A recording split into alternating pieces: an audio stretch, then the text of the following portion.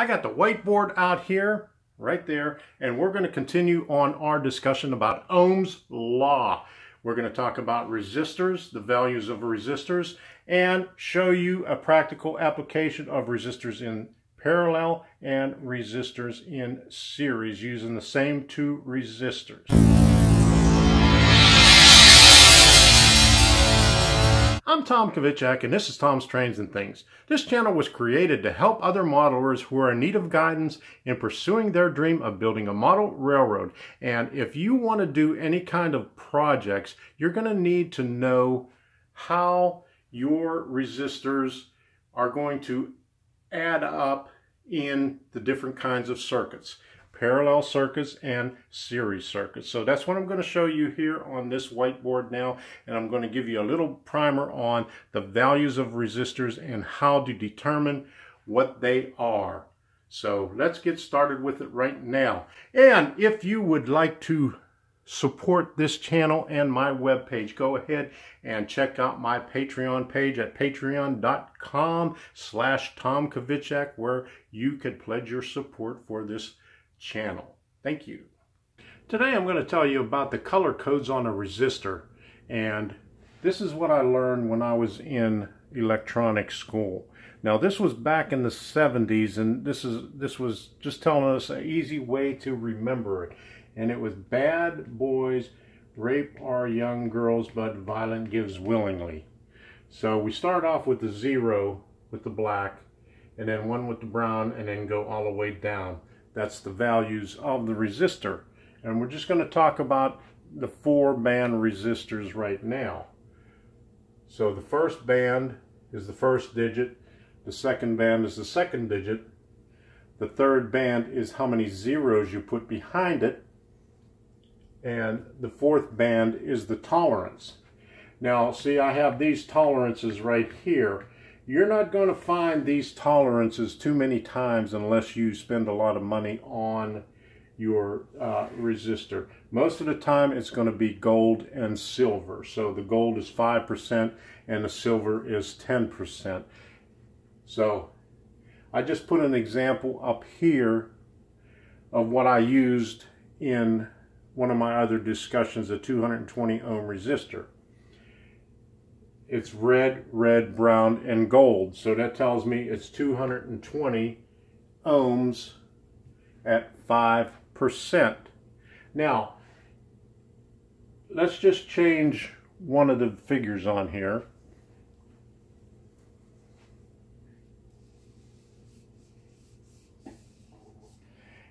And we'll make that one, say, a yellow.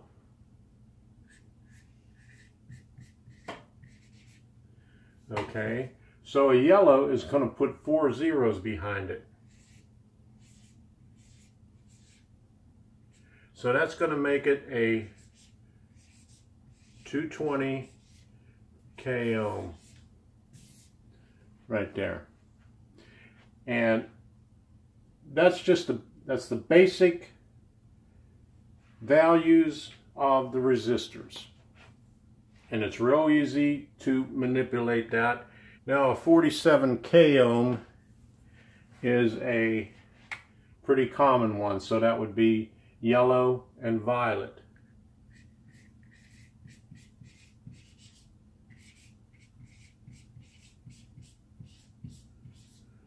Got to make that orange. Only three zeros.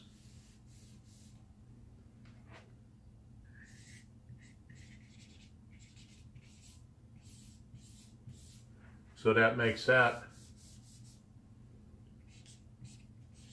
47K. Now, a 4.7K, which is, okay,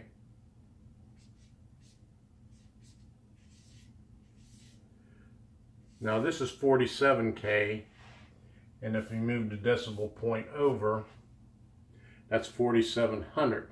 So if you want 4700, you want two zeros on there, so you look over here, that would be a red.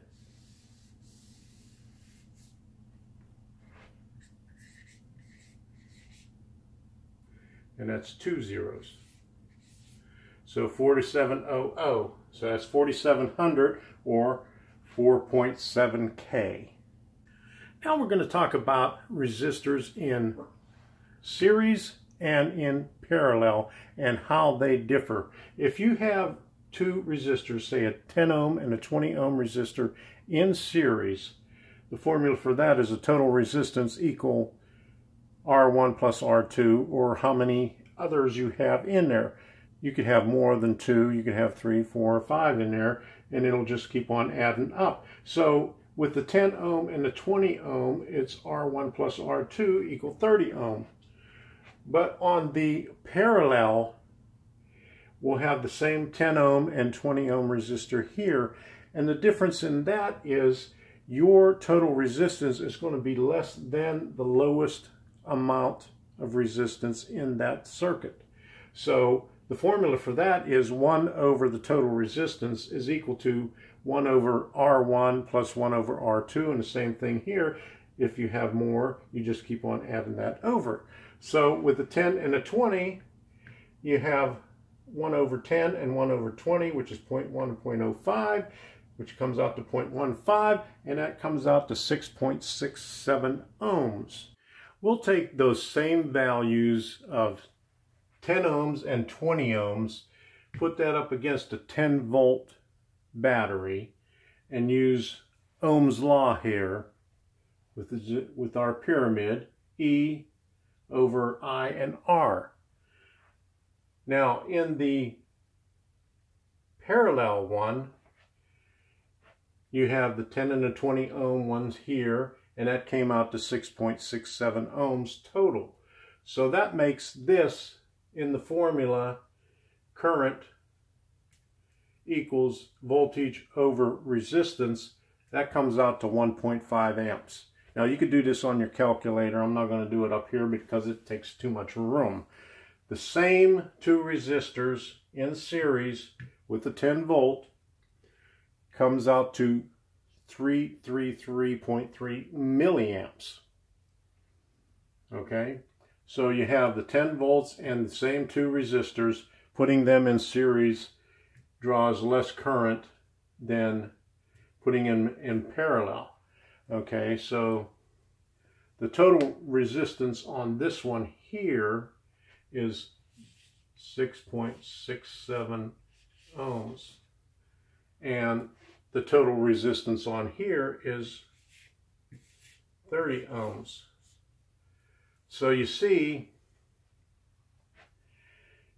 as you increase the resistance, you decrease the amperage. And on here, as you decrease the resistance, you increase the amperage. And I have the wattage of both of these over here, and that we'll get into that in one of our next discussions. I hope you learned something from this. Now, we could put this in practical applications when we're running lights or LEDs in our railroad. And the reason I put this in here is because when we're doing lighting on anything, it's better to put it in parallel and you'll see and we'll see why. We'll bring that up in the next one because I'm going to show you resistors and LEDs but anyway we have this all set now. We know what we're talking about when we're putting uh, resistance in series and parallel. So we'll go from there and we'll have another discussion on something similar to this. I'll talk to you about how to figure out the power and that is another formula that doesn't show on here, but there's another thing that goes on there for power. So we'll talk about that on the next one and we'll talk about using your resistors and using your LEDs and how we can get brighter and dimmer LEDs and how to hook them up. Here are some of the videos that we're going to be doing in the near future on electronics. Calculating power and watts. That's a continuation of Ohm's law. Resistors and LEDs. Advanced multimeter. Cannibalizing electronic equipment. If you have some old equipment, Other than computers, an old VCR, a home theater. I have an old home theater up over here I'm going to cannibalize. And breadboard projects. So that's going to be some of the videos that are coming up in the near future. If you would like to see more videos like this, go ahead and hit that subscribe button. And while you're at it, ding that bell and that'll notify you whenever I have a new video coming out. So we'll see you. And don't forget to leave some comments down there. I like to read your comments and we'll put those comments in a Q&A. I got some more Q&As coming up also. So until next time, we'll see you.